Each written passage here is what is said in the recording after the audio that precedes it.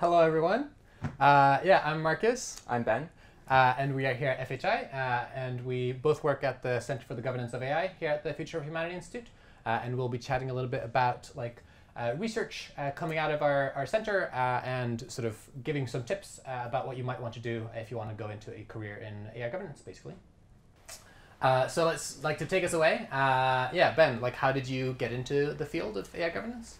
Yeah, so I guess I got involved um, a few years ago. So um, I was just graduating from college and I was majoring in physics and philosophy um, Yeah. and was considering actually going into the philosophy of physics. Hmm. Um, and then had some doubts on the basis of um, perhaps it not being either the most useful or employable field of, of all the fields. Right. Um, and at just around the same time as well, I was getting interested in ideas associated with effective altruism. And then a professor at my university, um, Allan Dafoe, who, who heads the center, um, was just himself transitioning into focusing on AI governance from a sort of long-termist perspective. And so uh, he put out a call for research assistants, uh, looking nice. for people who might want to get involved. Um, and then, yeah, it just happened to be a good time where I was ready to transition into something else, and it seemed important, and it seemed like at the time not many people were thinking about it. So Mhm. that's how I got involved. Cool, cool. And what, what happened next? Uh, yeah, so I basically worked as a part-time uh, research assistant for um, about a year or so. Um, at the same time, I actually um, got a job at the Center for Effective Altruism, and I was sort of like doing a part-time thing with Allan while I was working here. Right.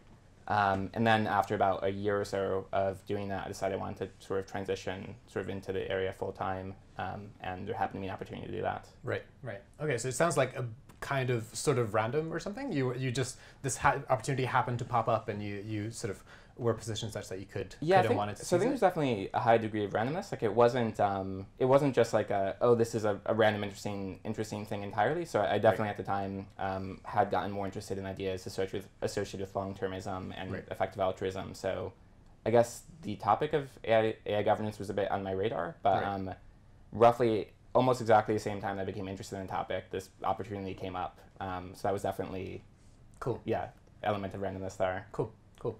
Um, yeah, and sort of uh, yeah, how has sort of your um, your work in the field like changed? Um, I think quite. I'd say quite a lot. Um, so I think I I still you know have a fairly broad focus in the area, but I think when we first started, there was this real sense that um, you know AI was going to be this thing that was really important. Everyone had like you know started to believe that like just Mhm. around then. That was like just around the time like AlphaGo. Um, Right, You so know, like 2016. yeah, exactly. Yeah. um, and then superintelligence had been been written, and that you know presented a sort of specific version of the like long termist concern around AI. Mhm. And there was this broad sense, you know, oh man, um, AI seems like it could be this really transformative technology. There might be these risks that you know people don't really understand very well yet.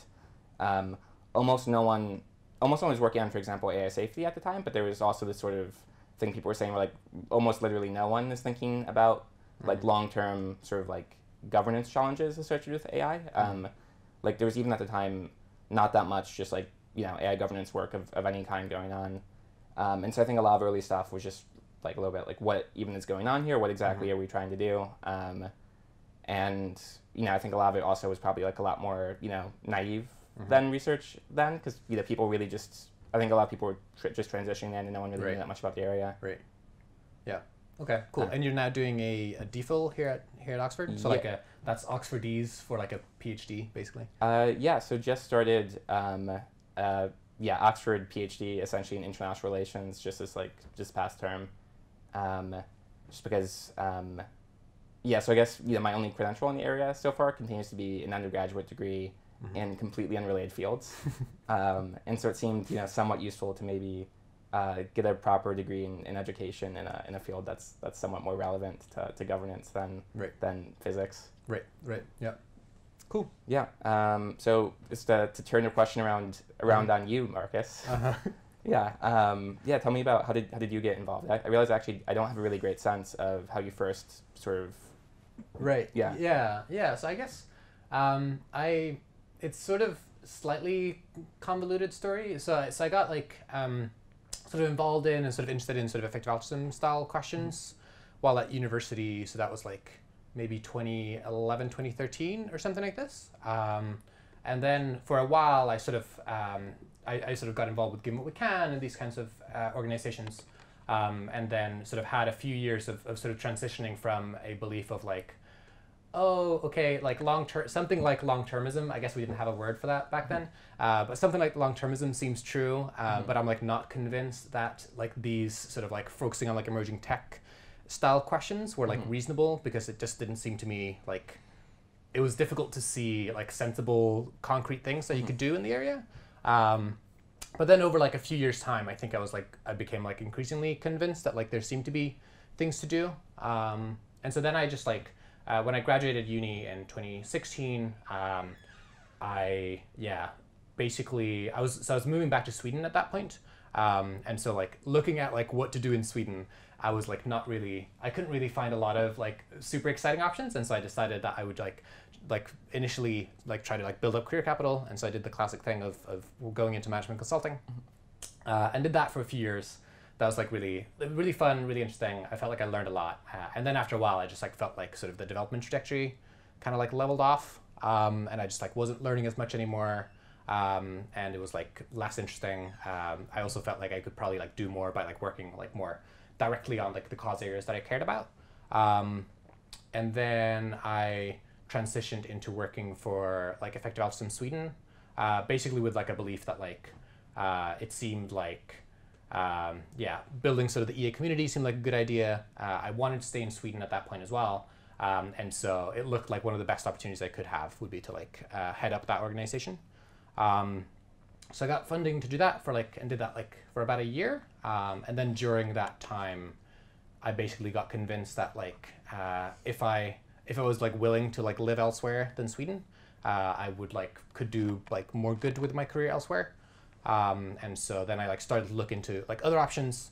And basically my algorithm was like I'll look for things where um, it was something like I, my my description of like my comparative advantage was something like I'm like a, a management consultant person who kind of like understands the research or something or like the, the the simpler version is like I was a management consultant who, who like gets it um, and then, and so then I like uh, basically like looked for roles that looked like basically working for like organizations doing research in uh, areas that I cared about where sort of my like broader skill set like being able to like help out with operations help out with like recruitment and those kinds of things could come in handy um, and then I just like applied to a bunch of things that fit that bill uh, where like GovAI was one of them uh, so it wasn't specifically that I was like, oh, AI governance seems like the mo- very most important thing, and then I like just like looked for ways to help out there. It was more like a broad class of things that seemed useful. Um, yeah, something like that. Yeah. Cool. Um, yeah, maybe next let's chat a little bit about like research uh, that you've been up to recently. Um, so in 2018 for EAG London, you did this talk on uh, um, uh, what was the what was the title? It was Oh, I like think um, how sure are we about this AI stuff? Right. Yeah. Okay. Uh, and so I guess like I'm inclined to ask like how how sure are we about this AI stuff? Um, so I think still, still not. Well, I guess there's two ways of being sure. So there's Yeah. like you know, there's I guess the robust like how sure are we that if we had sort of all the facts and we had all the considerations, we'd think that this is one of the top, let's say, you know, like two or three priorities for the EA movement. Um, and then there's a separate sense, which is like, um, given the limited amount of information we have at the moment, um, and given you know the limited number of considerations we have, um, how sure are we that even on that basis, just at least an expectation, it makes sense for us to be putting you know a lot of resources in this area? And I think the first one, I think we're you know, I think we're really not very sure, but it's just very hard to be sure because there's Right. so much we don't know. We don't know um, like we don't know what future AI systems will look like. We don't know what the Yeah. pace of progress will look like. We have a lot of trouble even imagining a world with like you know AI systems are a lot more advanced than what we have today. We don't have a great sense of you know exactly what institutions will matter when you know interesting stuff happens. We don't exactly have a great sense of just so much of it, but that's that's to some extent the nature of Yep. you know any technology where there's going to be massive changes. Is you Right. just really don't have a great picture. It might not be different for like AI versus like other cause areas. Um, so I think more for AI. So if you think about, you know, let's say climate change or, or something, there's definitely a lot of uncertainty we have. So for example, you know, climate models, um, you know, we don't exactly know how to model certain feedback loops, and we don't exactly know, you know, like how to think about low likelihood events, like how likely, you know, is it like one in a thousand or like one in a hundred for like extreme, you know, Right. feedback loops making things much worse than, than models predict. Yeah. We still have sort of a basic sense of, you know, the rough parameters of things. Like the main Yeah. parameter is just like how hot will things get to some extent, Mhm. and then Yeah. There's some stuff How bad is hot? yeah, how bad is hot? You know exactly where hot, where Yeah. where less hot. That Yeah. that sort of thing. Um, whereas for AI, it's just you know if we're talking about let's say in a long run world where just you know human labor doesn't really you know isn't really necessary for most tasks, just AI Mhm. systems are essentially replacing it. Um, it seems like there's so many dimensions along which we just don't know what that world you know Mhm. looks like. We don't know what those AI systems are like. We don't know just how that's organized or Right. it's just very very difficult to picture. It's a bit like um, as like an analogy I like it's a bit like being in you know 1500 and someone tells you describes in very rough terms like the internet like they Yeah. say oh you know communication is going to be much much faster and more efficient and Mhm. information retrieval is going to be better Mhm. there's a bit you can do to reason you know about about that sort of world like oh i guess um, you know maybe you could have larger businesses because they can communicate the offices exactly. can communicate you know Yeah. differently um, but you definitely if you try to visualize it you're not going to be visualizing the internet you can be visualizing i don't know very fast carrier pigeons or yeah. or yeah. like exactly. Yeah. or something like you know it's just you're going to be way off on Yeah. it and it's it's hard to even identify a single dimension along, along which like you're uncertain Mhm. um, and so i guess broadly i feel to some extent that's a little bit where we're at with ai Right. um, which is a long way of saying i think um, it's really hard to be to be sure um, i think just in terms of the, the sort of weaker standard of like how sure are we like Mhm. how sure are we on the basis of the little we understand the few considerations we have that at the very least it would make a lot of sense for um, you know a decent chunk of the EA movement to be focusing on this. Yeah. Um, I do actually feel um, I think pretty good about that. Like I, I think ideally I would maybe have a, a slightly smaller portion of the EA portfolio focus on AI, but it seems Right. pretty clear to me that you should at least have you know um, you know a few dozen people like really actively thinking about the long term implications um, of AI, and it seems like we're not that far from that number sadly at the moment. Hmm. Okay, wait, that sounds smaller than I expected. Like, so, so when you say like, Yeah. oh, uh, like a smaller like Yeah. proportion of the portfolio Yeah. should be focused on AI, what's your current view on like what that percentage is? Um, yeah, I think that's, I think that's very difficult. Um, so But like ballpark. yeah, um, so I'd say not unreasonable if um, uh, it's, I think it's it's yeah, it's really hard to think of like exactly how I'm defining the the split between things. Yeah. Um, I think it maybe I'd, I'd want something like um, one in five people who are like, you know, sort of fully engaged, like long term oriented um, Right. EA people to be thinking about AI primarily. Right. Okay. Whereas now you'd like you'd feel like the number is like If it, three it- and five, four and five, or something. yeah, it feels to me like it might be more than half. I'm not sure if that's correct, Right. um, Yeah. Yeah. Yeah. Okay. And so and so, what would be the like intervention that you would like to have, or like what would you like these people to be focusing on instead? Yeah, um, so I think just broadly, it's it's. I think there's a lot of uncertainty about you know. Um, so I think a lot of this is just based on the skill sets that people have and the Yeah. sort of work that people are naturally inclined to do. So it's possible that um, just on the basis of there being lots of people with you know computer science degrees and things like that Mhm. and interested in EA, that you know that on its own might justify the the really strong AI focus. But just Yeah. imagining completely fungible people who could sort of like work equally well on anything Yeah.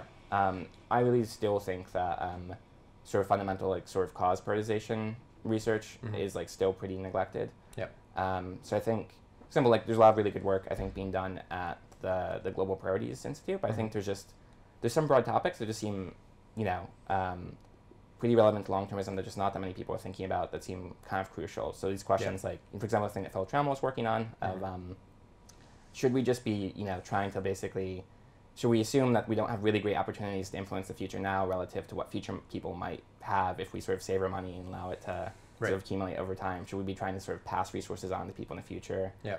um, to, to sort of eventually use Yeah, more wisely? yeah. Seems like very crucial for the for the like long termist community. Yeah.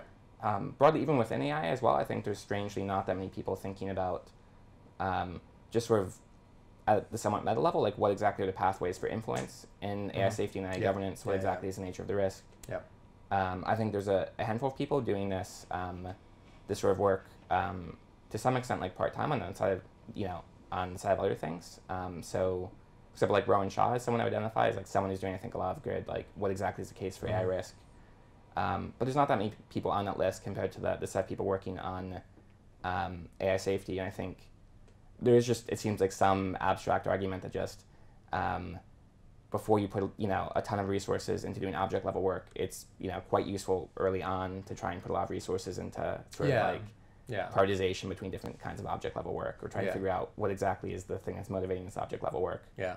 Yeah. So one of your one of your like complaints in that Yeah. talk was like basically this of like, Yeah. Mm-hmm. oh, it seems like we're putting a lot of resources into this, but I'm not seeing a lot of like proper sort of like write ups or people like actually laying out the Mm-hmm. arguments that are like motivating them to sort of make these make these career transitions or like Mm-hmm. motivating a lot of people's choices. Um, do you think we've seen like an improvement there? I guess like there are a few things that have been like Yeah. published since then. Yeah, so actually, I think so there's definitely been um, there's definitely been a degree of improvement since I gave the talk. Um, so I think when I gave the talk was maybe the, the sort of the low point in terms of um, so I think there there was this initial period of time where you know superintelligence had been written, and Yeah. for a lot of people that was like roughly corresponded to um, you know the picture that they had of like the nature of AI risk and, and the motivation for AI governance um, and things like that. And then over time, there's some sort of transition to people often having like fairly different visions of what the nature of the risk is or what the motivation is for AI governance. Um, and there are a lot of different dimensions of that. So some, you know, one dimension is uh, superintelligence focuses a lot on sort of this like very discrete transition to a world with you know Mhm. Yeah. like advanced AI. It's it's sort of it sort of presents a picture where there's not that much interesting AI stuff happening, and then there's maybe you know a day or a week where you transition into having you know quite advanced systems, and a lot of people moved away from that. Um, and also a lot of people, I think you know myself included, had started thinking more about um, risks which weren't necessarily safety oriented, which um, although those are also discussed a bit in superintelligence, definitely aren't the main focus.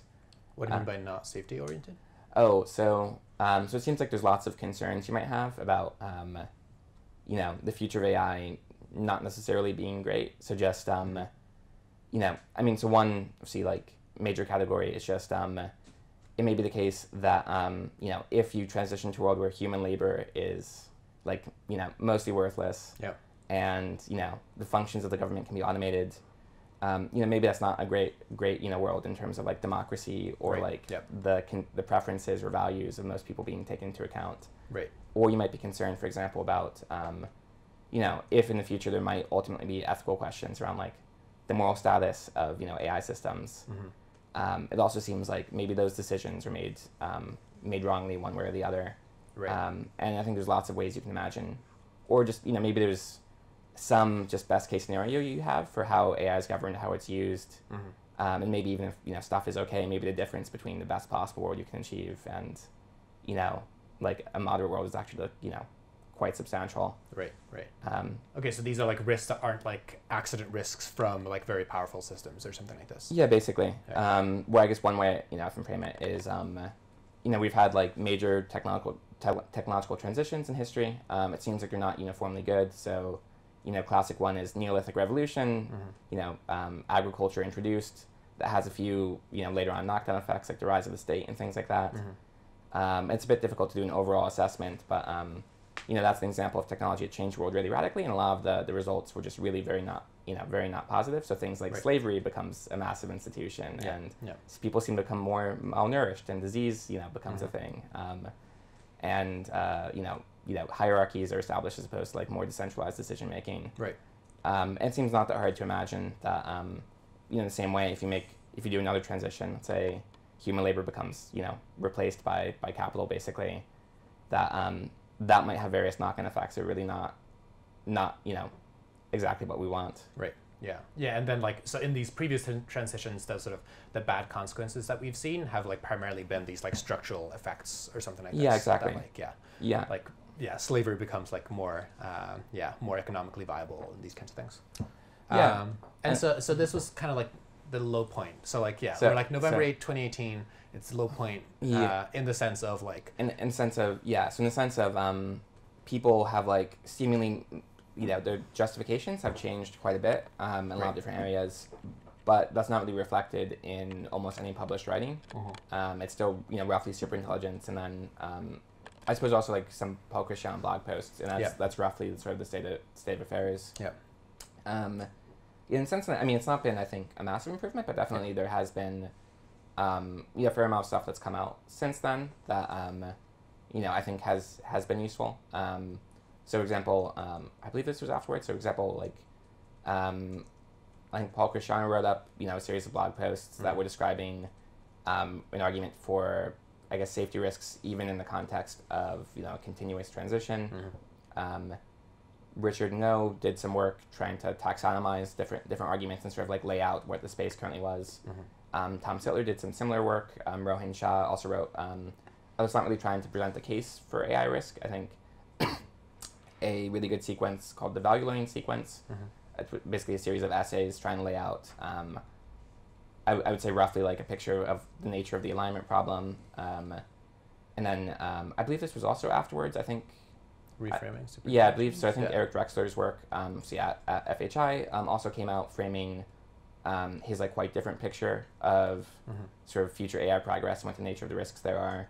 Um, so there has been, you know, actually a decent amount of this stuff. I think, Mhm. um, still I think quite a bit less than than I would ideally. Oh, and also um, MIRI also put out um, a paper on what they're calling Mesa optimization, Right, which yeah. which corresponds to one of their main arguments uh, for why they're worried about you know AI risk that wasn't, for example, in superintelligence. Mhm. Um, so I've been a fair amount of this stuff. I think it's still quite a bit less than than I would ideally want. Right. Because I think still, yeah, I think still there's lots of viewpoints that aren't really captured in existing writing, and I think as well, like a lot of it just really is um, fairly short blog posts. And while you know those are those are useful, I just don't really feel very comfortable. I think um, with a lot of sort of I guess career time and a lot of resources um, being put into an area if a lot of the main justification is just fairly short blog posts, and some of them also, you know, there's sort of um, it's obviously really really difficult to communicate clearly about this stuff because we just don't Yeah. really have the right concepts or the right picture of how things will go. Um, but definitely, you know, I think it's not that uncommon for people to, to like have arguments about, let's say, what a given post is actually like sort of saying, Mhm. um, which seems like not not necessarily a really great sign for Yeah, like exactly. us as a community really being on the same page about what the, the landscape of, of arguments and considerations is. Right, right. And why do you think this is? Like, do you think that we like, uh, like, why are we in this in this particular situation? Are people like individually making mistakes here, uh, and that Um, like they should have spent time on this like meta level question? S- I think to to some extent, yes. Um, I mean, I think there's so I think there's a few things um, that, that make it complicated. So one is I think this sort of stuff is in fact just like fairly difficult. Because I think to some degree it re- like I think to some degree it requires um, both a decent understanding of like what all you know what the sort of current landscape of arguments and consider especially in the safety realm I think Mhm. it like does require often a pretty good understanding of like Yeah. just what's going on in AI safety just a good understanding of what's going on in current machine learning um, good ability to do things like conceptual analysis Mhm. and synthesis and things like that um, and that's you know there's maybe not that many people in that bucket at the moment um, another aspect which I think also helps to explain it a bit is I think a lot of the people who are currently working in this area have just you know quite recently come into it, Mhm. and I do think that there's this sort of unfortunate dynamic where a lot of people have the sense that um, the you know arguments or problem framings are currently like more worked out than they are, and they, they to some extent just haven't been published or they're in someone's head Mhm. or you know all the people in the know you know have a good understanding. Mhm. Um, and then, especially if you come into an area, you know, just to sort of begin with, um, you're not necessarily in a great position to, to sort of maybe do this like high level framing work, especially because you just don't Mhm. really know what's out there, what, what exists in terms of like unpublished Google Docs. Right. And so I think it's quite easy to just like, and maybe sensible if you're just, you know, entering the area to um, not try and do this high level stuff, but sort of pick an object level topic and then try and work on that. Right. And then I think there's a lot of people who just, you know, um, and then once you're doing that, it's like, it somehow it somehow feels maybe a bit unnatural to sort of drop the object level research program you're now embarked on to Mhm. to this sort of stepping back thing. Like, Yeah. I think there's a lot of people who have felt inclined to um, start doing, let's say, high level problem investigation in their sort of spare time, in a sense, while doing you know their their object level thing is the main thing. But for whatever reason, it does seem like a somewhat um, difficult transition to just drop an object level project you have to Right. to this somewhat more loosey goosey like like oh what are we even you know doing thing Yeah, yeah. Are there like particular viewpoints that you feel like haven't been accurately represented, or like ought to like um, be written up like more thoroughly? Yeah um so i think maybe I'll, i guess so i think um even ones that have been written up to some extent i think could really stand to be Yeah. written up like further and and more clearly. So um one example is um so i think you know Paul Christiano does for example have a few good blog posts describing um, i think one of them is called what failure looks like where it's meant to be sort of um, sort of saying like you know, here is what like a bad outcome might look like, even in the context of um, like a slow transition where stuff is Mhm. fairly gradual. Um, like here's what like a bad safety outcome might might look like. Um, I think the blog posts are quite good, but also at the same time, I do f- at least personally feel like they're you know there's sort of a limit to how Sure, thoroughly or clearly you can communicate in like short blog posts. I do think there's still a lot of ambiguity like about what exactly is you know what exactly is this scenario being described like what, what does this look like Mhm. like um, are we talking about something that's like you know an active disaster or just like lost opportunity um, like what exactly is the argument for this being likely because to some extent it's, it's trying to just present a picture of what it might look like as opposed Mhm. to making the argument that this is you know Mhm. that this is necessarily plausible um, i think yeah just i think basically like a lot you know more could sort of be done there i think similarly for um, this idea of like mesa optimization Mhm. which um, is now i guess one of the primary justifications that MIRI has for you know assigning a high probability to sort of safety risk Mhm. um, I still think there's a lot of ambiguity about what this concept exactly exactly is. Yeah. Um, like it seems like different people tend to characterize it differently, or perhaps misunderstand the paper, or the paper is maybe ambiguous or things like that. But definitely doesn't seem like everyone's on the same Sure. page about what exactly this thing is. Right. And it also doesn't really present the case for the paper doesn't really try to do the thing of um. It, it sort of argues that there might be this phenomenon that it's calling Mesa optimization, Mhm. but doesn't really you know try to make the argument that um, because this phenomenon might arise, um, then we should view it as an existential risk or, or like a plausible existential risk. Um, so that I think that work still like hasn't really been done.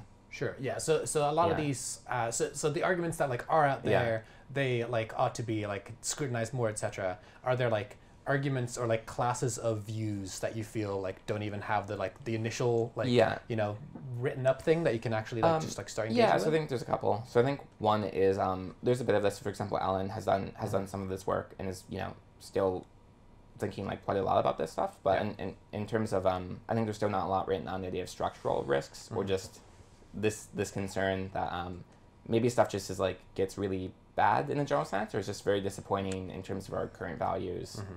Um, and it's a bit nebulous. It's a bit like you know the Neolithic Revolution, where um, it's not like there's some concrete disaster. It's just there's some sort of structural forces that just push things in a direction that Yeah. that you really sort of you know ideally wouldn't want. Um, I think similarly, um, a little bit of writing, but really definitely not a ton. This question of um, should we think that certain kinds of you know future AI systems have moral status, and if so, is it you know a plausible risk that um, just that won't really be like respected, and that will be Mhm. an important enough development to you know for like long termists to Right. to you know really focus on.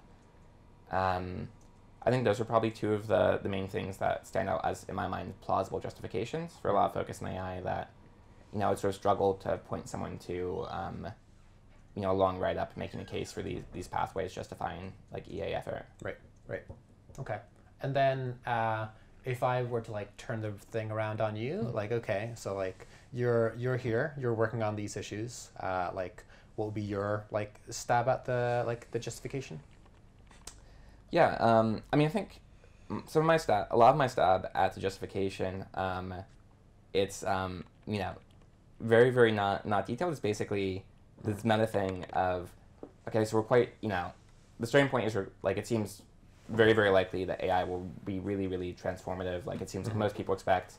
Yeah, we will eventually get to the point where just you know human labor not necessary for things or for most things. Um, and that world, whatever that looks like, is like obviously extremely different. Yep. And then we have this, you know, set of however you want to count them, like maybe you know half dozen ish, you know, vague, uh, sometimes vaguely sketched arguments for why there might be some, you know, EA path, like you know, place for like EA leverage to try and make this go like much better or much worse, or Mhm. like why this could go much better or much worse. Um, and so it seems like there's not that many if you're sort of taking like a long termist perspective and just thinking like what topics might have really long run significance that there might be some chance to influence, um, I think that there's that set of things is not that large. It's relatively hard to find them. I think, Mhm. um, and then, well, at least at this stage at the moment, where I think there's a ton of um, at least value of information and trying to get much clearer about what's going on with AI, because it seems at least, you know, one of the few places right now where I think it's like plausible. Um, long termists like you know have an opportunity to do useful future work. Right. Um, and so it's a bit of another one where I think, um, So the argument is like, oh, it seems like if you're a long termist, you should like think about the like the areas Mm-hmm. where uh, like that seem like they will have like a large lever leverage of the future. Uh, this seems like our like one of our best bets of like Yeah. something.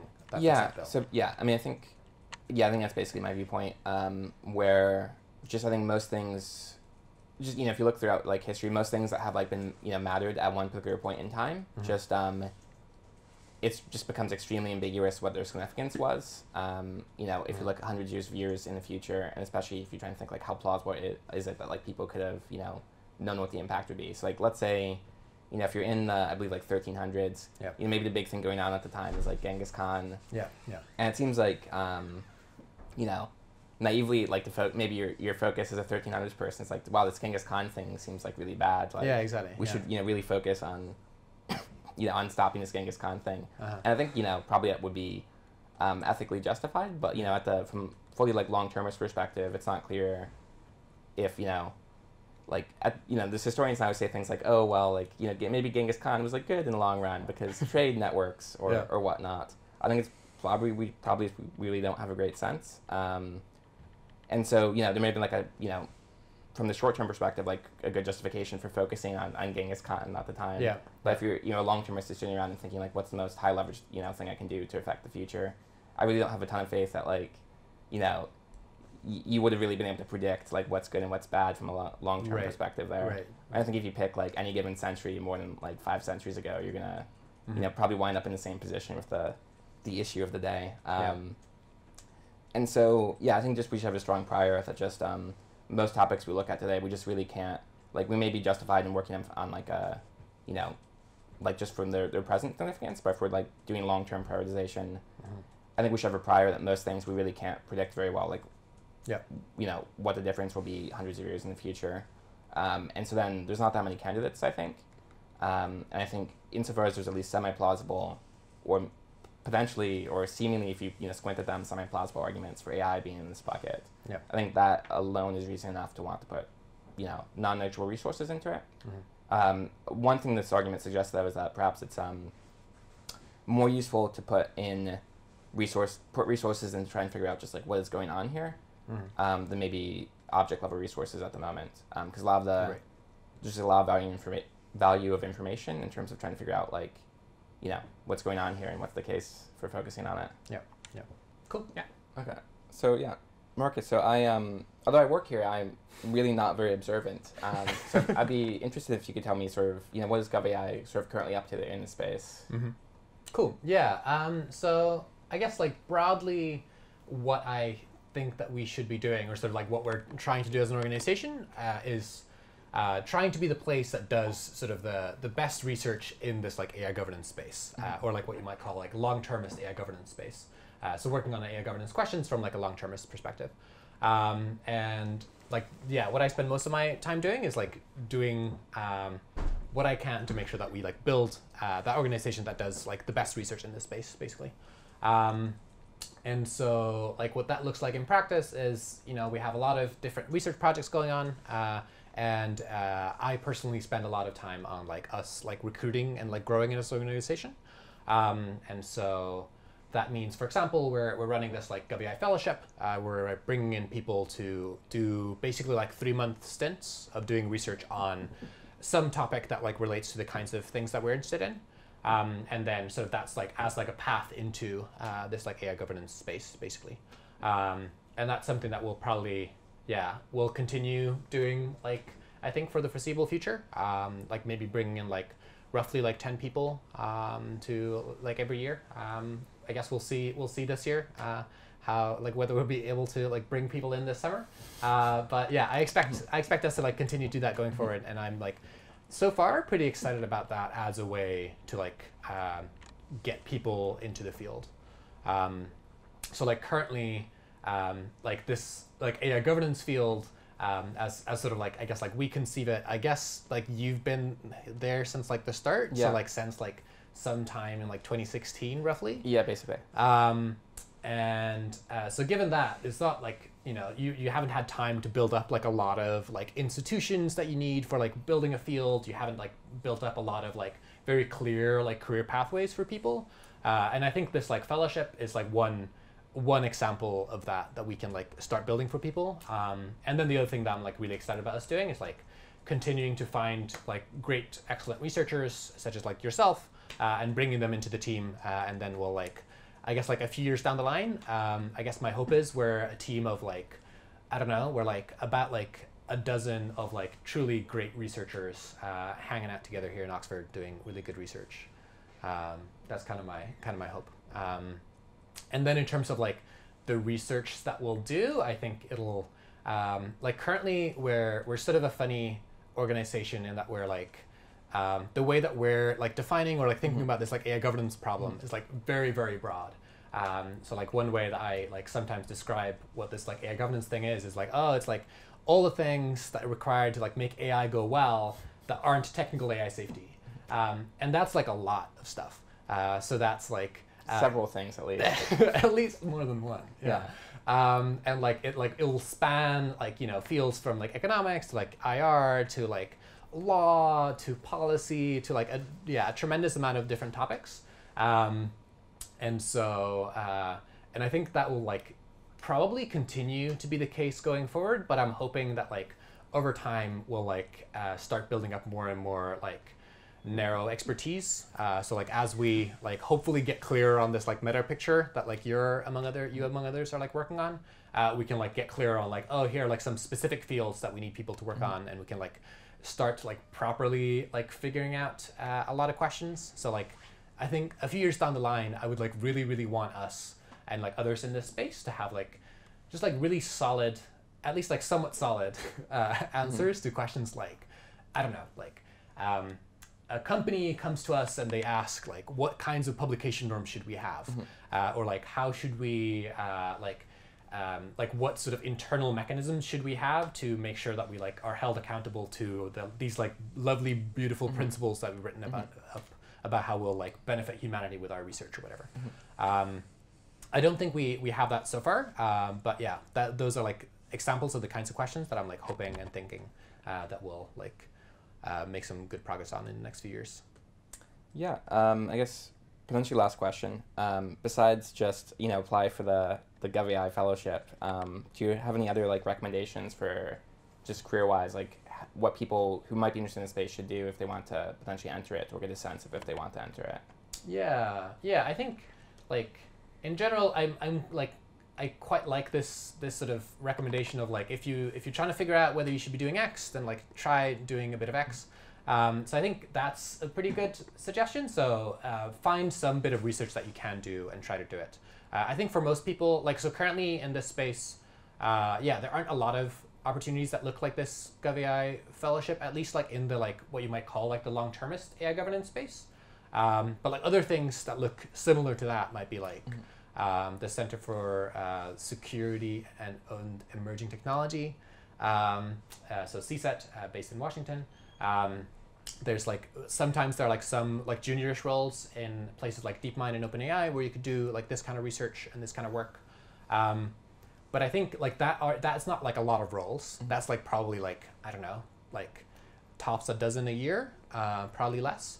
Um, and so I would encourage people to like think much more broadly. Uh, and so things that you could do are like looking at like one thing I'm very excited about people doing is like looking at trying to work in sort of policy teams, etc., in like a wider set of technology companies. Uh, so working at like places like Microsoft, uh, like Facebook, these kinds of places, as they start building up like policy teams or like ethics teams. Uh, I think it would be awesome to like have a lot of people like join these kinds of roles. Um, I guess another thing that a lot of people are doing that I think seems like reasonably like like a good idea for a lot of people is like just like using your studies to like dip your toe in the water. Um, and so some people will do this during like a bachelor's or a master's. They'll do like a dissertation on like AI governance related topics. Uh, and others will like um, I think quite a lot of people currently are like looking into doing sort of like PhDs uh, in this area as well. Uh, which I think PhDs like one reason that a PhD might be a good option is just that like um, if you're a field and you're like trying to grow, um, it's going to be like very difficult to it's very difficult to like open up new roles. So in some cases, it, can be like much easier as a field to grow by like um, I guess yeah, a poor way of putting it is like co-opting other roles or something. And so like you know there are all these PhD like positions out there in the world, and so we could probably like have some people join those and like you know swivel them around such that they are on like topics that we think seem like long termist, like really really important uh, in this area. Um, I guess like the other like main tip is just like engage a lot with the research, um, and so like yeah, read all the all the things uh, like coming out of institutions such as us, uh, but also like places like the uh, like CSET, etc. Um, and in doing so, like try to like really really engage with the research, um, and like when you read it, like yeah, like keep in mind that like these people uh, who are writing these things they're like they're like smart and they're like good at what they do but they're like by no means uh, sort of any oracles or like don't actually like have that much knowledge uh, actually there's like a lot of uncertainty in this space and so you should like um, yeah go into like reading these things with an attitude of like um, you know um, sort of keeping an open mind to a lot of these things being wrong and like being very very like uh, critical and like trying to like actually form your own views uh, or at least like yeah, I think like another like similar thing to that is like don't just like read things and sort of take people's conclusions. Instead, of try to like build them up yourself from the ground up or something. Uh, so like try to build up your like internal models of like how you think the world will go. Sounds good. Very wise. Do you have any any tips or like what would you have Um, told your like past self? Um, I, I'm, I don't think anything really beyond what you said. I guess what I would have told my past self is just uh, check your email in case Allan Dafoe sends out an email looking for research assistance in this area Right. with like with like a fairly non-competitive process at that time because not that many people were interested in it yet. Okay, so like So- get real lucky. Get real That's- lucky is I think yeah. exactly what I would have told my past self. Okay. Yeah. Yeah. Yeah. Cool. Okay. Yeah. Well, it's it's been it's been fun chatting. It's been Um, great. Yeah, and and enjoy the rest of the broadcast. Yeah. And uh, my my new sign off is uh, stay safe, stay sane. See you later.